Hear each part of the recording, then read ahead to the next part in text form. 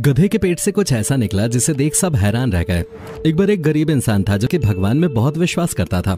वो पूरी आस्था के साथ भगवान की पूजा पाठ किया करता था। वो नियम से रोज मंदिर जाया करता था, मंत्र पढ़ता, जाप करता और भगवान को अपनी ज़िंदगी के लिए धन्यवाद देता था। लेकिन वो एक गरीब इंसान था, उसके पास कभी कभी खाने के लिए पैसे नहीं होते थे।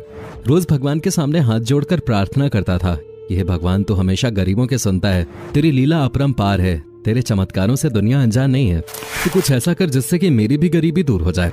उस इंसान की तीन जवान बहनें, दो बेटियाँ, बूढ़ी माँ और एक बीवी थी। उसके सिर पे इतने लोगों की ज़िम्मेदारी थी।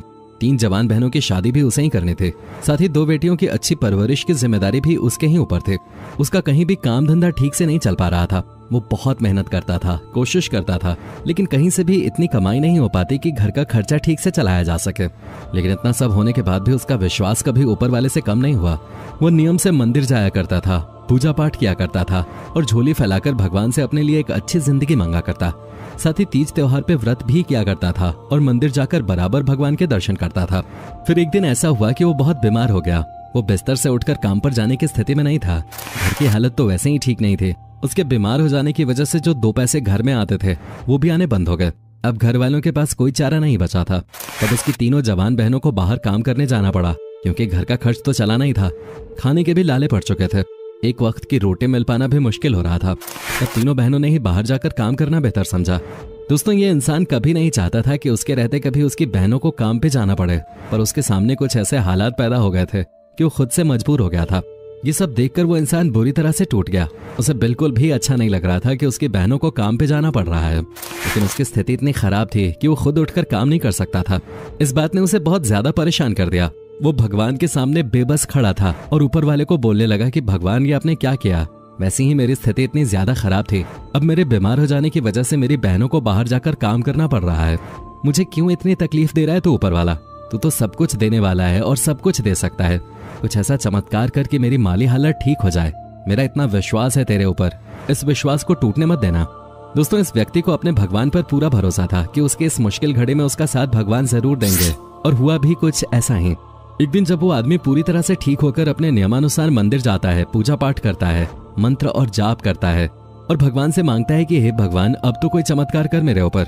मेरी तीनों बहनों की शादी की ज़िम्मेदारी है। इतनी बुरी हालत में मैं कैसे उन तीनों की शादी कर पाऊँगा? मैं कैसे अपनी ज़िम्मेदारी निभा पाऊँगा? जब मेरे पास देने के लिए कुछ है ही नहीं। हे भगवान, कम से कम मेरे स्थिति को देखकर ही मुझ पे रहम खा ले। मेरी बूढ़ी माँ की दवाइयों पे खर्च, मेरे बच्चों की परवरिश और मेरी तीनों बहनों की शादी का खर्च उठाने की हालत में मैं बिल्कुल भी नहीं हूँ। कुछ ऐसा चमत्कार कर जिससे कि मेरा विश्वास तुझ पे हमेशा बना रहे। इतना बोलते बोलते उस इंसान की आँखों में आँसू आ जाते हैं, क्योंकि उसकी स्थिति इतनी ज़्यादा खराब होती है कि भगवान के सामने आते ही वो रोने लगता है। वो अपनी पूजा खत्म करके जब जा रहा होता है, तभी मंदिर के बाहर उसे एक आदमी मिलता है, जिसके पास एक गधा होता है। वो आदमी बोलता है कि भाई साहब, मुझसे ये गधा खरीद लो।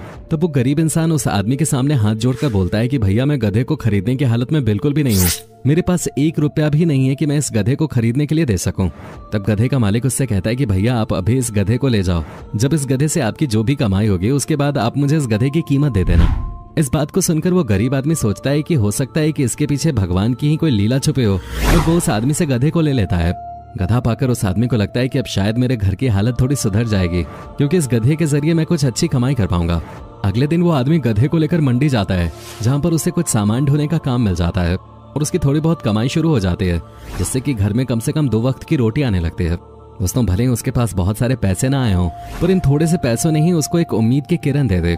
उसे लगने लगा कि शायद इस गधे को खुद भगवान ने ही उसे मदद करने के लिए भेजा है। अब ये गधा ही उसकी सारी मुसीबतों से उसे निकालेगा। दोस्तों, जब सब कुछ अच्छा ही चल रहा होता है, वैसे ही एक दिन वो गधा बहुत बीमार हो जाता है। उस गधे की हालत वक्त के साथ बिगड़ती जा रही थी। जिसकी वजह से अब वो गधा काम करने लायक भी नहीं बचा था। तभी कुछ लोग बोलते हैं कि इसे जानवरों के डॉक्टर को दिखाना चाहिए।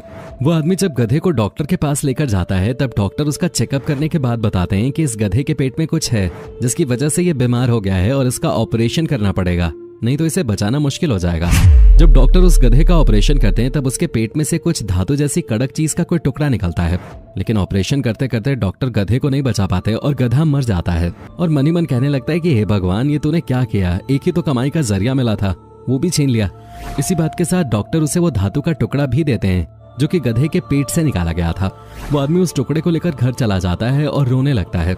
रोते रोते भगवान को बोलता है कि क्यों एक उम्मीद की किरण दिखाई थी? अगर उसे वापस छीनना था, गधे को मेरे पास क्यों भेजा था? अगर कुछ ही दिनों में उसे मरना था तो? ये बोलते बोलते उसके हाथ से वो धातु का टुकड़ा नीचे गिर जाता है। जैसे ही वो धातु का टुकड़ा नीचे गिरता है, उसके ऊपर की परत टूट जाती है और अंदर से चमकती हुई कोई चीज़ निकलती है। जो कि सोने की तरह दिखती है।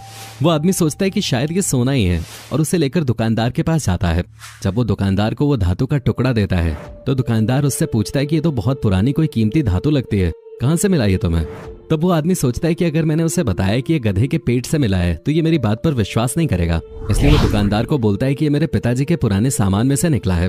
तब दुकानदार उसे बताता है कि ये बहुत ही पुश्तैनी और कीमती सोना है। जिसकी कीमत भी बहुत अच्छी है। तभी वो आदमी उस धातु की अच्छी खासी रकम लेकर धातु दुकानदार को बेच देता है और पैसे लेकर घर चला जाता है। घर पहुंचकर वो भगवान को अनगिनत धन्यवाद देता है कि, भगवान, तेरे घर में देर है, लेकिन अंधेर नहीं। तो कैसे भी और कहीं से भी चमत्कार कर सकता है। दोस्तों, आपको ये कहानी कैसी लगी, हमें नीचे कमेंट्स में ज़रूर बताएँ। अगर आपको ये कहानी पसंद आई हो तो इसे लाइक करें और अपने सभी दोस्तों और रिश्तेदारों के साथ इसे शेयर ज़रूर करें। अगर आपको इस तरह के इंटरेस्टिंग वीडियोस देखना पसंद है तो आप हमारे चैनल को सब्सक्राइब करके उसके पास लगे बेल आइकन को ऑन ज़रूर कर लीजिएगा, जिससे कि आपको हमारे इस तरह के वीडियोस की नोटिफिकेशन सबसे पहले पहुँचती रहे। धन्यवाद।